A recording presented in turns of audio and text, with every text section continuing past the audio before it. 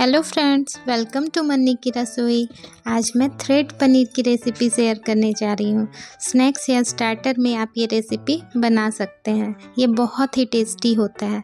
इसके लिए सबसे पहले हम लोग चाउमीन को बॉईल करके ठंडा होने के लिए अलग छोड़ देंगे और एक प्लेट में सेजवान चटनी, tomato sauce, chilli sauce, soya sauce लेंगे और इसको अच्छे से मिक्स करें मिक्स मिक्स मिक्स।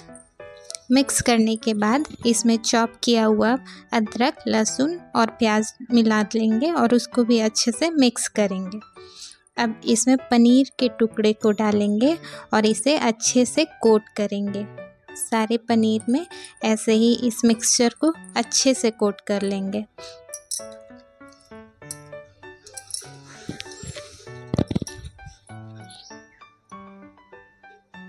अब एक प्लेट में ठंडा किया हुआ चाउमीन लेंगे और उसके ऊपर थोड़ा सा कॉर्नफ्लोर डस्ट करेंगे। उसको अच्छे से मिला लेंगे और इसके ऊपर पनीर के टुकड़े को रखकर इसको अच्छे से लपेट देंगे। ऐसे ही सारे पनीर के टुकड़ों में चाउमीन को ऊपर से लपेट लेंगे।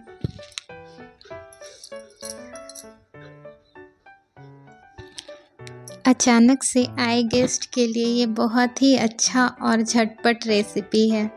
देखने में भी लजीज और खाने में बहुत ही टेस्टी। आप इसको तुरंत बना सकते हो। ये देखिए, सारे पनीर को मैं अच्छे से थ्रेड के सहारे बाँध ले रही हूँ। थ्रेड मतलब चाउमीन के साथ उसको अच्छे से उसको पैक कर दे रही हूँ। पनीर छुप जा रहा है, दिख भी नहीं रहा है, किसी को पता भी नहीं चलेगा कि अंदर क्या है।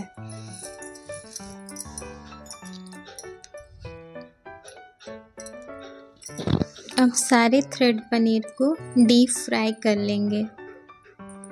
दोनों साइड से अच्छे से पका के इसको साइड में रख लेंगे।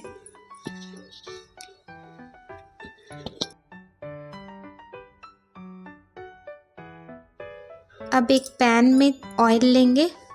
इसमें चॉप किया हुआ जिंजर गार्लिक और अनियन डालकर इसको थोड़ा सा पकाएँगे, जब तक इसका कलर चेंज ना हो जाए। उसके बाद इसमें तीनों सॉस मिला देंगे। सॉस को थोड़ा पकने के बाद इसमें ग्रीन चिल्ली और आधा चम्मच सेजवान चटनी मिला के इसको थोड़ा सा पका लेंगे। अब इसको थ्रेड पनीर के ऊपर अच्छे से स्प्रेड कर देंगे।